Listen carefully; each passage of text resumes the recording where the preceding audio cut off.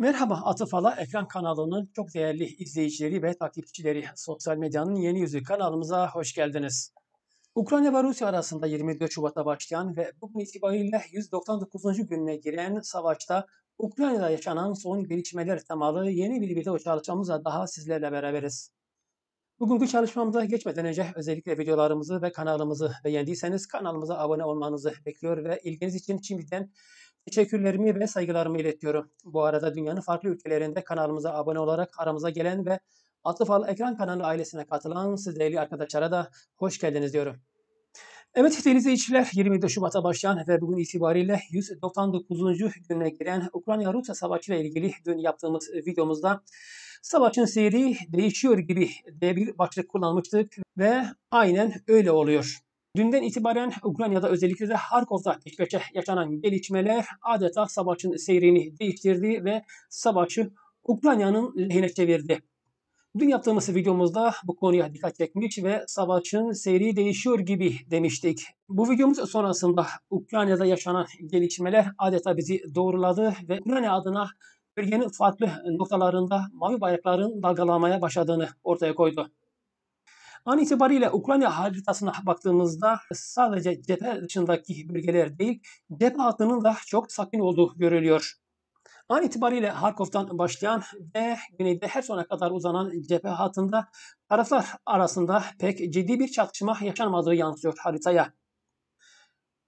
Hani derler ya bu sükunet pek hayra alamet değil. Aynen öyle oluyor değerli izleyiciler. Bölgede yaşanan sükunet pek de e, Rusya adına pek hayra alamet olmuyor. Ukrayna cephesinden peş peşe gelen ilerlemeye dönük sıcak gelişmeler özellikle Rus birliklerinin nedenli zor durumda olduğunu ve nedenli bir panik içerisinde olduğunu ortaya koyuyor.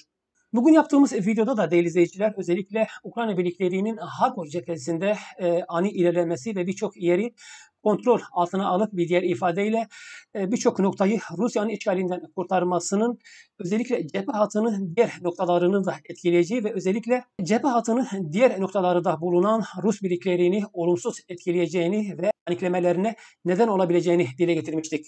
Harkov'da yaşanan bu gelişmeler adeta bu tabloyu ortaya koyuyor ve an itibariyle cephe hattının birçok noktasında sanki Rus birlikleri adeta savunmaya çekilmiş durumda. Girizgah'tan sonra isterseniz Harkov bölgesine gidelim. Ukrayna Rusya arasındaki savaşın 199. gününde Ukrayna haritasına baktığımızda özellikle de Harkov bölgesinde mavi bayrakların dalgalanmakta olduğunu görüyoruz. Haritaya yakından baktığımızda dün başlayan Ukrayna birliklerinin ilerlemesi sonrasında Harkov bölgesinde Rus birliklerinin kontrolünde neredeyse bölge kalmamış durumda. Bugün sabah Ukrayna'da yaşanan son gelişmelere ilişkin yaptığımız e, videomuzda Harkov'un doğusunda hala Rusların işgalinde olan bazı kısımlar olduğunu dile getirmiş ve Ukrayna birliklerinin e, bir sonraki e, hedefinin ise bu bölgeleri almak olacağını dile getirmiştik. Aynen de öyle oldu değerli izleyiciler ve an itibariyle sabahtan kalma o yerler e, an itibariyle e, tamamen Rusların işgalinden kurtarılmış durumda ve aralarında e, Vovchansk ve Veliki Buluk'un da olduğu birçok nokta an itibariyle tamamen artık Ukrayna birliklerinin kontrolüne geçmiş durumda. Bu son hamleyle birlikte Harkov'un neredeyse tamamına yakını Ukrayna birliklerinin kontrolüne geçmiş durumda. An itibariyle sadece Luhansk ve e, Harkov sınır e, hattını oluşturan bu kesik çizgilerle şurada gördüğünüz Severi Donetsk ırmağı arasında kalan şu kısım hala Rusların kontrolünde bulunuyor. Rus birliklerinin kontrolünde bulunan bu kısmının da alınmasıyla Harkov bölgesinin tamamı Ukrayna birliklerinin kontrolüne geçmiş olacak sabah yaptığımız videomuzda da dile getirdiğimiz gibi Ukrayna birliklerini bundan sonraki hedefi değil izleyiciler bu kısmı Rusların işgalinden kurtarmak olacak. E, Harkov sınır hattını belirleyen bu klasik çizgilerle Severodonetsk nehri arasında kalan bu bölgeyi Rusların işgalinden kurtarmak olacağı belirtiliyor. Bu arada Harkov bölgesinde gördüğünüz ve bonus şeklini andıran bu kısım ise her ne kadar kırmızı renkle gösteriliyor olsa da e, an itibariyle Ukrayna birliklerinin kontrolüne geçmiş durumda. Yaşanan son gelişmelere baktığımızda Ukrayna birliklerinin önümüzdeki yakın günlerdeki hedeflerinden birisi ise şurada gördüğünüz Luhansk'ın e, şu kuzey kısmı ile e, cephe hattının batıdaki uç kısmı oluşturan her sonu e, Rus işgalinden kurtarmak olacak. Evet sevgili izleyiciler Ukrayna ve Rusya arasında 24 Şubat'ta başlayan savaşta e, Harkov'da yaşanan bu son gelişmeler sonrasında Rusya birlikleri Ukrayna birlikleri karşısında belki de son zamanların ve son haftaların en büyük hezimetini yaşıyor. Evet değerli izleyiciler Ukrayna birliklerinin Harkov'da bugün ilerlemesi ve bu ilerleme sonrasında birçok noktanın Rusya'nın işgalinden kurtarılması sonrasında Ukrayna haritasında ne gibi değişiklikler yaşanmış ona bakalım.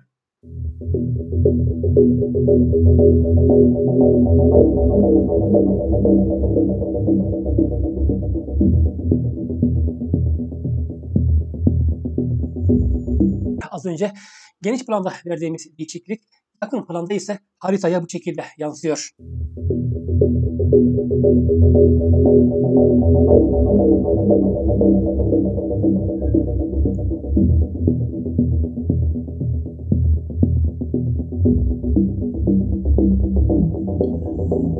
yaşanan bütün gelişmeler sonrasında Ukrayna ilişkin aktaracaklarımızı sonlandırmadan hemen şunu belirtelim Özellikle de Harkov bölgesinde e, Rus birliklerinin çekildiği e, noktalarda aralarında tank, top, obüs ve e, zırhlı askeri araçların da olduğu onlarca Rusya'ya ait araç olduğu belirtiliyor. Ебать, а там всем хватит по танку. Посмотри.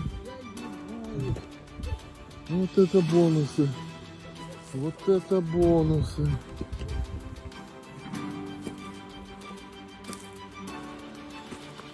Вообще здесь не крашен. Да ты что ты посмотри. Как все интересно.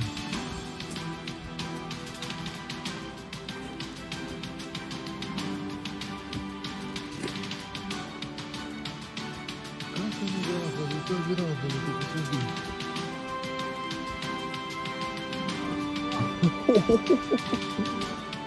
Вообще.